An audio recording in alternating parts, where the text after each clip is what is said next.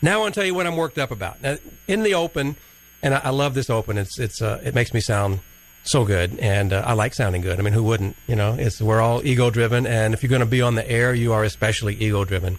But uh, we may I make this point. You'll hear me invoke it every now and then that I've got many many years of experience as a television journalist, and I say that not just to brag, although of course there's a bragging element to it, but uh, not just to brag, but it's called. This is part of what we we do in television news when we say. Letting the viewer know the benefit. The viewer benefit or the listener benefit, because this is radio, is that when you listen to to uh, this particular show and Jim Parisi's show, who's er, who is, uh, precedes mine, we are both experienced television news journalists, so you get a journalistic aspect to what we're talking about. So the point being, I'm not just some random piece of weirdness off the street. I'm a carefully selected piece of weirdness off the street. So you'll be able to hear. You every now and then you'll be able to get the benefit of some of my journalistic training, and you're going to get that today because uh, in the first block of this show, we're going to break down national coverage of, uh, of an incident that I don't know if you heard about it. I'm going to tell you about the incident. And then I'm going to put on my journalism hat and we're going to break down how the national media or and local media are covering this story. Because I, I got to tell you, I'm worked up about it. So you're going to maybe, um, I don't know, maybe you'll see a side of me you haven't seen before. But uh, we're going to talk about this in detail. Now, here's the story. It, this happened in a Philad- suburban Philadelphia. A psychiatrist named Lee Silverman and I'm, now I'm quoting from a CNN story. A psychiatrist named Lee Silverman may have saved lives Thursday afternoon. Let me predicate this by a comment I meant to make as an introduction. One of the things you often hear the people who are uh, ultra, the the ultra left wing gun control people who basically want to take everybody's guns away from everybody. They they point out, and I've seen it. You've heard it. I'm sure you have.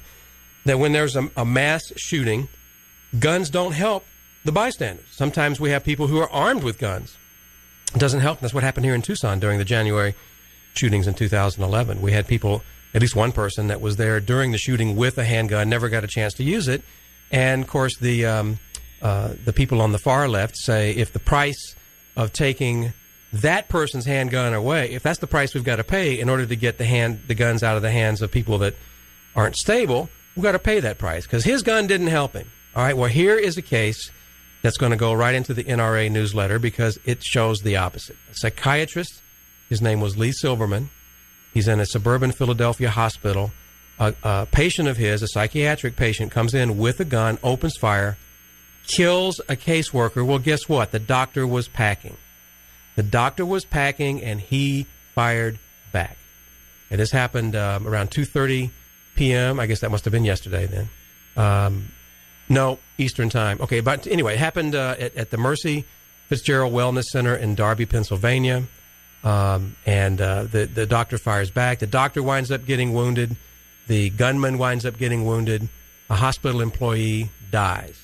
According to uh, according to the this um, what the police are saying, this, the Delaware uh, County District Attorney Jack Whelan says that Richard Plotts, 49 years old, walked into the psychiatric unit of the building with his caseworker, Teresa Hunt, 53. The two went then, then went into Dr. Silverman's office where an argument ensued.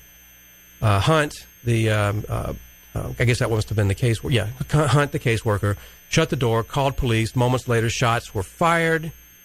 And according to authorities, another doctor and a caseworker charged into the room. Hunt shot to death. The caseworker lay dead. Uh, they um, they wrestled him to the uh, to the ground and held and held the Plotts to the floor until Police arrived. The doctor had fired back. The, the psychiatrist, Silverman's head was grazed by a bullet. He was treated and released. A plot remains in critical condition at the University of Pennsylvania uh, hospital after being shot in the arm and torso by a, a gun the psychiatrist was was carrying. So long, uh, long way to say a short. You know, the short version of the story is: whack job comes in with a gun, opens fire, doctor fires back and the incident ends without further bloodshed. All right, now let's put on our journalism hats for a minute. You're at the press conference where police are talking about this incident, the one I just described, and you have a chance to ask a question. And maybe you only get one because you know how these press conferences are. There are a lot of reporters wanting to ask questions. You may only get one shot at asking a question. What are you going to ask of authorities? What's the one question you want to ask? About this situation in which a mentally disturbed person with a gun comes in, opens fire, kills somebody, gets shot in return, and put down.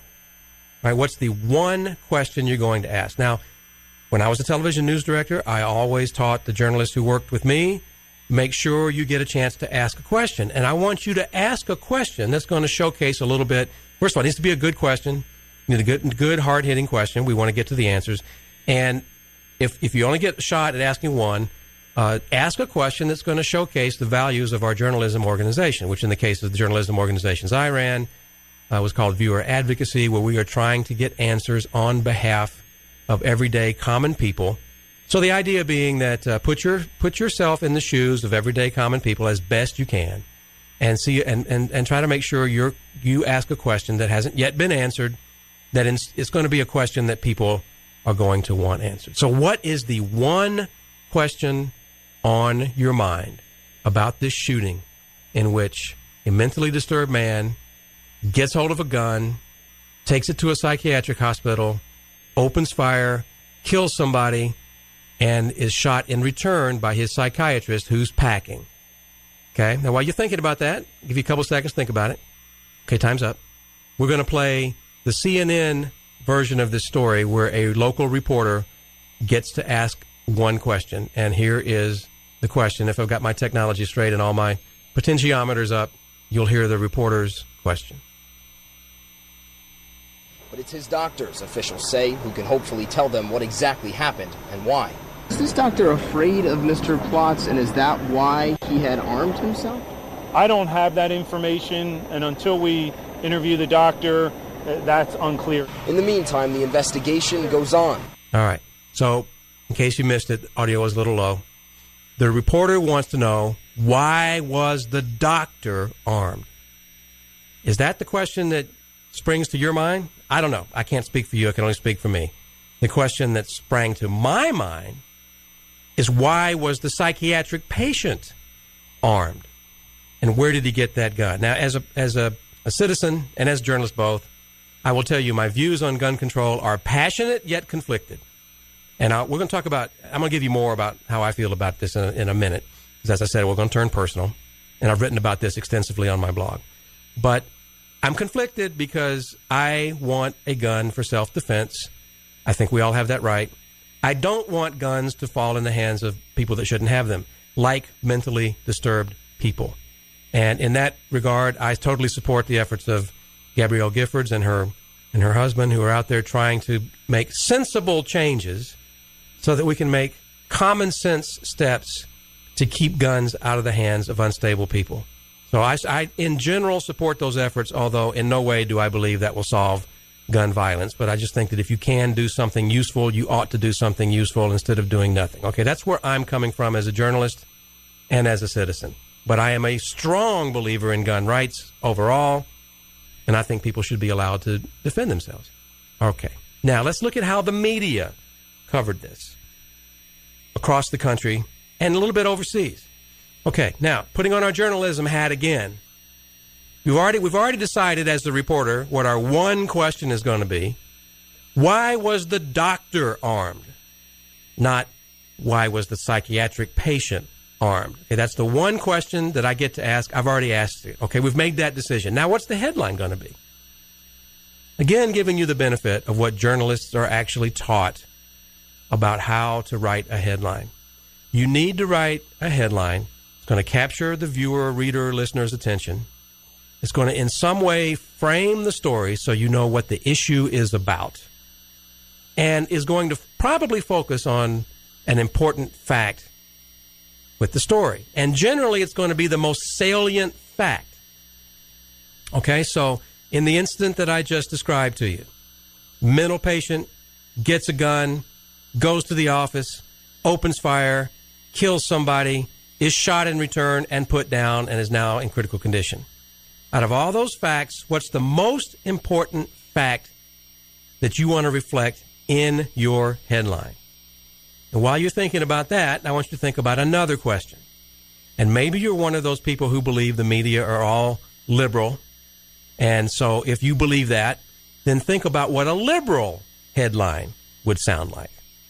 Or maybe you're more middle of the road and you don't really think the media tend to be liberal. Think of what a objective middle of the road headline would sound like. And while you're thinking about that, the, of course, the obvious last question is okay, if you're on the far right wing or, or more towards the right wing, what would a right wing headline sound like for this story? I'm going to give you some examples of how the media across the country actually did cover this, and we're going to read from from uh, some actual headlines. Okay, the Huffington Post.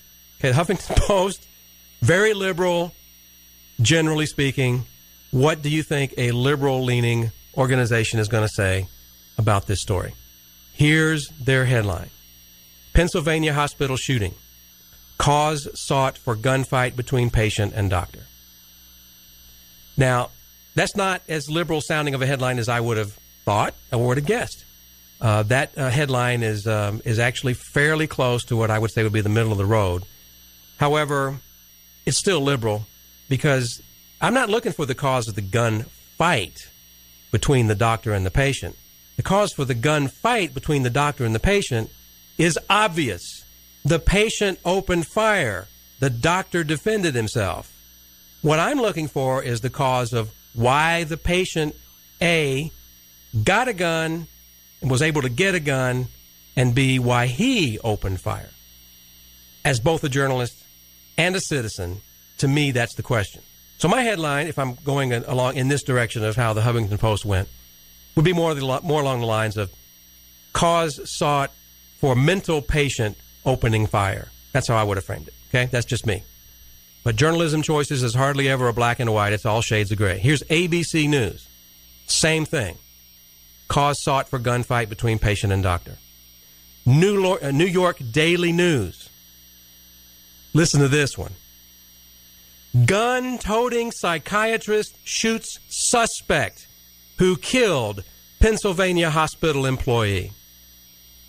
Okay, number one, he didn't shoot a suspect. He shot a he shot a gunman. He shot a killer. He didn't shoot a suspect. He shot a killer. In just in my opinion. All right, but bottom line, that's their that's their focus. And then we can then we can talk later about whether the the person that's going to be charged in this is the suspect in question. That's where the word suspect comes in. Is when you suspect somebody may have done something. But this psychiatrist didn't shoot a suspect. He shot a gunman. And we can talk later about the identity of the gunman and whether that person is suspected of doing this actually did it. But they focused on the psychiatrist gun toting psychiatrist. And now I'm seeing John Wayne with a vest and a badge and a gun saying, Come on, Pilgrim, or something like that. And he pulls his he pulls his piece and returns fire because he is a gun toting psychiatrist. New York Daily News. Here's Time magazine. And once upon a time, I had a person that I really respected say he would never read Time because it was so liberal. I don't necessarily find it to be that way. Maybe you do. Here's their headline Shooter kills one at Pennsylvania hospital, right down the middle slightly left, maybe. I, I think you really, I really needed to hear that it was a mentally disturbed shooter. But okay, that's right down. That's pretty much down the middle. Shooter kills one at Pennsylvania hospital. Okay. Yahoo and AP. This is actually Associated Press by way of Yahoo. Same kind of balance, same kind of tack. One dead, two hurt in Pennsylvania hospital shooting. Okay, that's that's pretty much down the middle. That's what I would say somebody's trying not to offend either side and is probably pleasing neither side, which is what winds up happening. USA Today. We're back to the doctor. Pennsylvania doctor shoots patient who killed caseworker. Well, at least I at least I get to know that the guy was A a patient and B had killed somebody before the Pennsylvania doctor shoots him. Still, the focus is on the doctor. But that's better than gun toting psychiatrist. It's even better than case sought for cause sought for gunfight between patient and doctor. Patient was a whack job who opened fire. That's the cause. All right, but this one still focuses on the doctor, but having focused on the doctor, at least you get to know in the headline that he shot somebody who shot somebody. Okay? Self defense, right away, you know this. Fox News. Okay, now we all know Fox News leans to the right. Its news coverage less obviously leans to the right, in my opinion. Others have differing opinions. And I would agree that Fox News is the one organization of all the ones I'm looking at today, the one organization most likely to have a middle of the road, uh, to have, excuse me, to have a right leaning headline. But here's their headline Wounded doctor fired back at gunman. Yeah, that's pretty much more more along the lines of what I would expect. And now they're letting you know that the doctor, he wasn't just fighting back, he'd been shot himself. Okay, so that double underscores the self defense angle.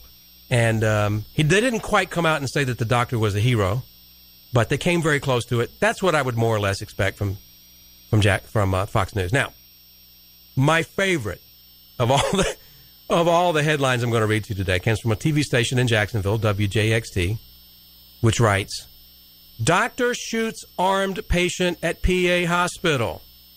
Okay, you don't get to hear in the headline that the patient had opened fire or that anything bad had happened. And from the headline, your first impression is going to be a patient has a gun, the doctor shoots him. That's not what happened. In their subtitle, they go on to say, or sub headline, authorities say it appears a psychiatric patient shot and killed a caseworker. It appears that a psychiatric patient shot and killed a caseworker. Okay, so they're giving the benefit of the doubt to the psychiatric patient, not the doctor. And when you go and you quote, you look at the press conference from when from which they're quoting, the police are actually saying, "Well, this is what we're hearing from the scene." So the word appears actually could apply equally to either party, but no. In this headline, it's only going to apply to the shooter because that's who we're going to give the benefit of the doubt to in this headline. CBS News. Doctor had gun, comma, wounded hospital worker. Prosecutor says. New York Post. Doctor fired back in a deadly hospital shooting. Okay. That one, to me, is more appropriate. NBC Philadelphia. Caseworker dead. Let's not forget here, somebody died, right? That's appropriate. Two others shot at Mercy Fitzgerald Hospital campus. Okay, sort of leaves out, though, the heart of the story, but it did focus on the victim here, which I think is refreshing. Okay, so I'll give them a B minus. Philly.com. Psych patient shoots two at Darby Hospital. Doctor returns fire. Bingo! I had to search through three pages of headlines before I found that one. In my newsroom, that's the headline you would have heard. Psych patient shoots two, doctor returns fire. This is about a psych patient with a gun, is what this is about. Yet another one in a long series of psych patients or people who should be psych patients with a gun harming somebody. That's the most important element here. And secondarily, the doctor successfully turned fire. Also very important. A plus plus plus to Philly.com. And now finally, I found one even further uh, uh, uh off to the right. UK Daily Mail. Going overseas now to find this one. Hero doctor stops hospital shooting rampage. I wouldn't have done that one because the circumstances are so preliminary. I'm not ready to call the doctor a hero yet, but the Daily Mail was. We have a caller on the line, uh, and we will get to Aaron uh, right after these messages, and that'll give us some breathing room to talk more about this. The Forrest Carr Show will continue right after this. Okay, we were talking about guns and the media coverage today, which is going to focus on why did the doctor have a gun. I walked you through how journalists arrive at this decision to decide what they're going to focus on. Now, armed with that knowledge, you can decide for yourself. Remember, it's our slogan: the power to think for yourself. You can decide for yourself what it, what's important to know about in this particular case. But the media today, and you watch watch the news, and this is probably what you'll see because we're already seeing it. Why did the doctor have a gun? Not why did the mentally unstable, potentially violent person have a gun? Which is the question that, my view, we ought to be asking. Aaron, welcome to the um, the Forrest Carr Show. What have you got for us today? Good morning, Forrest. Yeah, I love your show. Thanks, man. You got the um, we're definitely on the same sheet of music when it comes to the um, with these gun rights. Uh, want to have people that uh, can protect themselves, but you don't want to have dangerous people or mentally ill people uh, carrying weapons. There, that's that's not a good thing.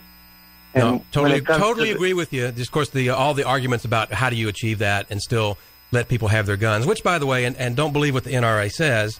This is really not about self defense. NRA, in my opinion, is more concerned about protecting uh, protect people protecting themselves from civil unrest and their own government. I think that's what the NRA is really about. hmm With the uh, with this issue with the the doctor and the and that patient, the um, the doctor I don't he's on the front line of dealing with the mentally ill, so he's probably scared. He knows what he knows the the his customers, and he's probably like you know, I'm not a PC guy, but he's probably thinking, man, these people are crazy. I need to protect myself. Yeah. I got you know I and, Especially and, in- and he after all the right. media, yeah, after He all the media right. reports you've heard, after what happened here in Tucson, yeah, I would imagine that's that's probably true. And of course, you know, people on the other side of the issue will tell you that these things get blown out of proportion. The media always focuses on them. It's all out of proportion as to what really happens with mentally ill people, and that's by the way true. Most, you know, only a very, very, very, very, very, very, very, very small percentage of people who have mental health issues uh, will ever pick up a gun. But every time they do, we report about it on the media, and that's all true. That is all true. That happens, and yet, issue just doesn't go away, does it?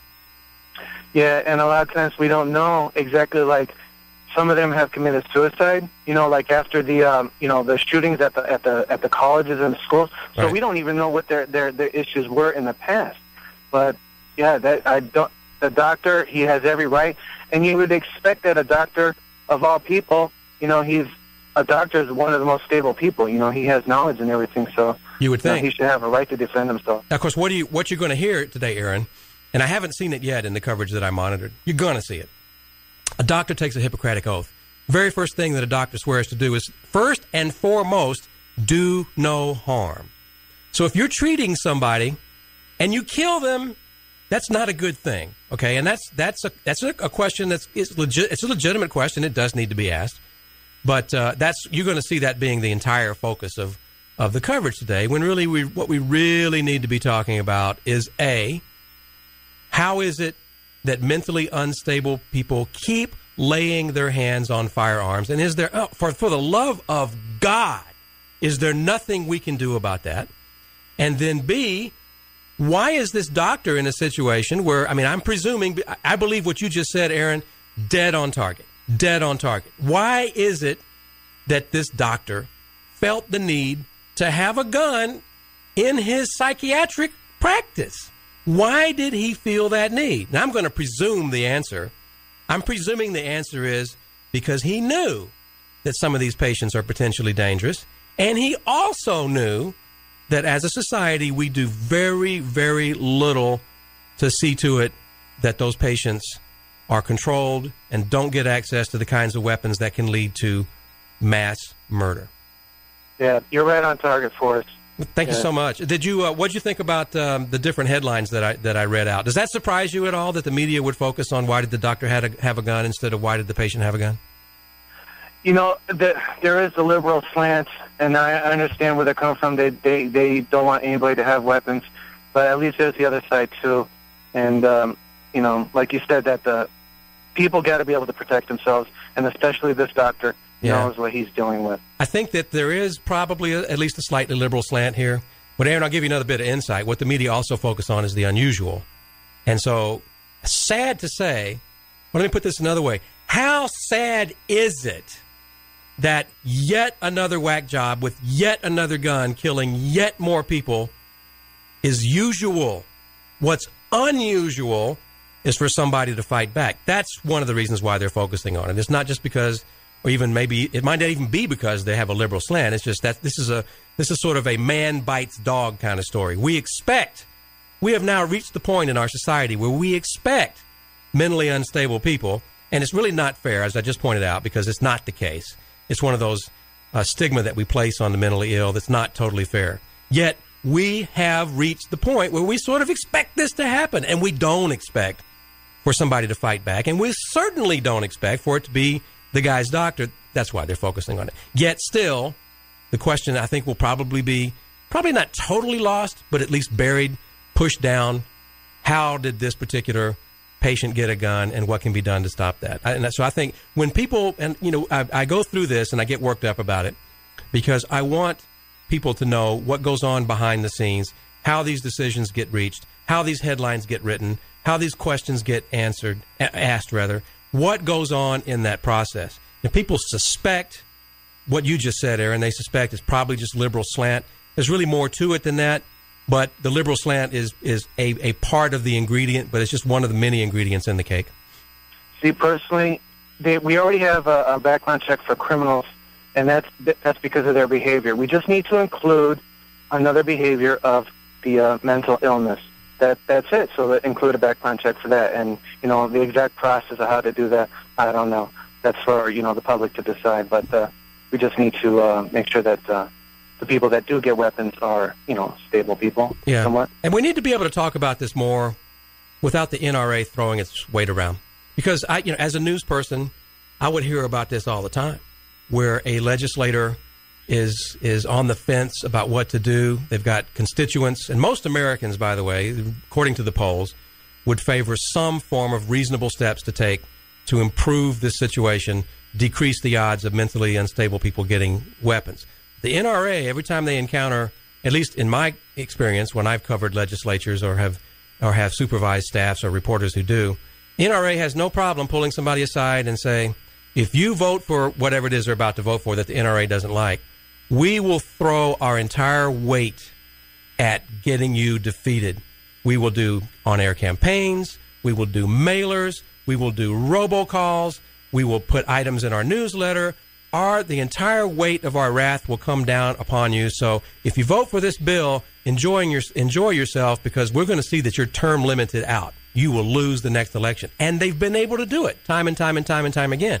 Only recently have some legislators have a had the courage to stand up to these bullying tactics, tactics and also b survived it.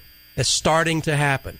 But for the most part, the NRA still has this incredible ability just to shut down the conversation. That's why I depart with the NRA.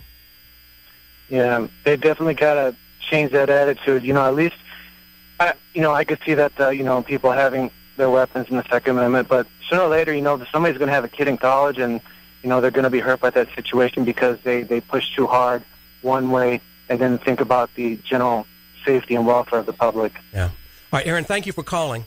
And uh, right. we, we, love hearing from you. So thanks for calling the show. Now I'm going to wax personal a little bit because I told you that I've I've um, I've written about this on my blog, the Bashful Bloviator. This is right on target. So I'm going to I'm going to share with you some thoughts about uh, where I come from personally on on gun control and um, and I'm going to frame it in terms of a of a blog entry that that uh, I wrote oh several weeks ago, and I'll I'll put it on the links page uh, later today so that you can find it if you if should you care to do so. But the the title of the blog entry was five things I feel guilty about, and three I don't, in no in particular order. Okay, I feel bad about the Easter egg. When I was in kindergarten, I won a small gold plastic candy filled Easter egg in a drawing. It was the first and only time in my life I've ever won a prize classmate asked me if he could have a mint from the egg. I said no. And he was crushed. Yeah, you know what? I know. It was only kindergarten. I still remember that. I'm guilty about the move. Uh, many years ago, I forced my lovely bride, whom I sometimes refer to as Bride of the Bloviator, to choose between me and her career. She chose me and moved uh, with me, and I took her away from a job that she loved. I've always felt guilty about that. I'm still mortified about the breakup my first romance when I was uh, many, many, many, many years ago, and you don't get to know how many. Did not end well. It was my fault, uh, largely, and I really kind of acted poorly. And I've always felt bad about that. I feel bad about this kid when I was in the seventh grade. This uh, I made a friend, started coming over unannounced, and got to be kind of aggravating. And rather than uh, work this out with him on how he could come over and be announced and not be so aggravating, my me and my other friend kind of made fun of him and ran him the hell off. And I have always felt guilty about that. Seventh grade. Here's what I don't feel bad about I do not feel bad about owning a gun. One night, many, many years ago, when the bride and I were living in a not so great neighborhood earlier in my career, a loud crash at the apartment door jolted me right out of a sound sleep. I jumped out of bed, I ran to the door, and there I stood, barefoot in my sky blue PJs, not knowing what the heck I was going to do if that door were to burst open. I'm not a physically intimidating guy. Didn't feel good about my chances of defending myself and my wife against what could have been a crazed intruder. Maybe armed with a gun, maybe armed with a knife, maybe high on PCP, which was going around at that time. I ran to the kitchen. I jerked open a drawer. I grabbed a carving knife, dashed back to the door, and waited. I have never felt so naked in my life. And you know what? The stranger went away. Nothing happened. The next day, I went out and bought a handgun. I feel good, however, about not supporting the NRA. The NRA has done a very, very good job of defending the rights of gun owners like me. And I appreciate that, really. I do.